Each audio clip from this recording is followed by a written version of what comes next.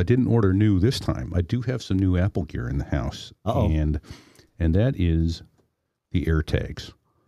Boy, are those cool pieces of gear! I just thought, you know, I've got the tile. I'm not, eh, but boy, they are amazing. Um, down Agreed. to yeah, here's the arrow. Here's where they are. It's you're within inches of it, and um, and the fact that somebody doesn't have to be running an app in the background to get you to your gear. That that's the biggest thing. I, I I already and we've talked about this here, but I already see that people are like like my devices are more easily found with AirTags than they were with Tile. Yes.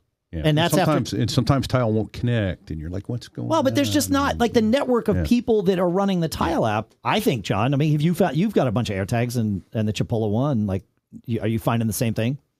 Mhm. Yeah. Yeah, I mean it's like it's it's as good as a GPS. I um In a city, right? Yeah. in an area where there's a lot of people with iDevices. Yeah. Correct. Yeah. Correct. Like I used it to uh I had to get my car towed to the service place. Um and I was like, "You know what? Let me try this." So uh, uh, and there's one in my car and sure enough, it, you know, showed its progress on the map, you know, going from my place to the service place. Oh, that's cool. It was just very accurate, and we've had you know uh, people give us stories of um, uh, tracking their luggage is another one. Yeah. That's kind of a cool Watch my luggage in Spain.